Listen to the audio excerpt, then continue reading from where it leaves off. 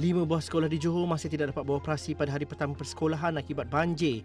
Menurut Pengarah Pendidikan Negeri Mat Said Mat Daimon, ia membabitkan tiga buah sekolah di Batu Pahat dan dua di Segamat dengan jumlah keseluruhan pelajar kira-kira 2,000 orang.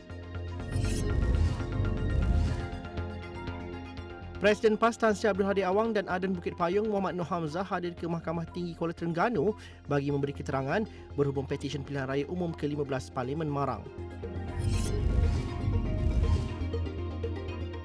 Kementerian Pembangunan Kerajaan Tempatan akan membelanjakan 50 juta ringgit untuk menukar lift usang dan naif di PPR di seluruh negara.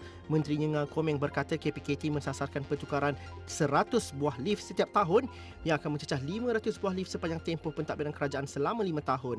Ikuti liputan berita dan analisis menyeluruh setiap hari di saluran 501 Awani dan astroawani.com.